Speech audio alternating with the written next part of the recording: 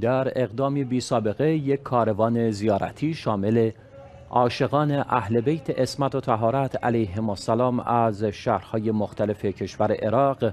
با پای پیاده راهی کشور سوریه شدند. این کاروان عراقی بعد از رسیدن به منطقه سید زینب در حومه دمشق پایتخت سوریه وارد حرم متحر عقیله بنی هاشم حضرت زینب کبرا سلام الله علیها شدند. همکارم علی اکبری گزارش می دهد.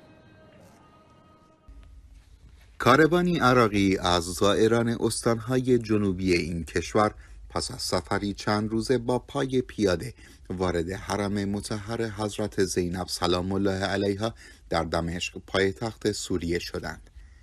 خبرگزاری اخبار شیعه تصاویری از موکب عزاداران حسینی علیه السلام را که توسط اعضای کاروان پیاده روی از استانهای جنوبی عراق به سمت حرم حضرت زینب علیها السلام برپا شده بود دریافت نموده است.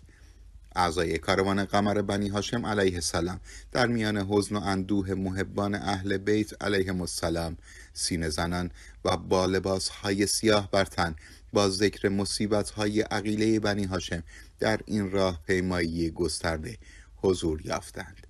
حرم متحر حضرت زینب علیها السلام پس از اتمام نصب زریح جدید شاهد خیلی گسترده عزاداران از کشورهای مختلف است گفتنی است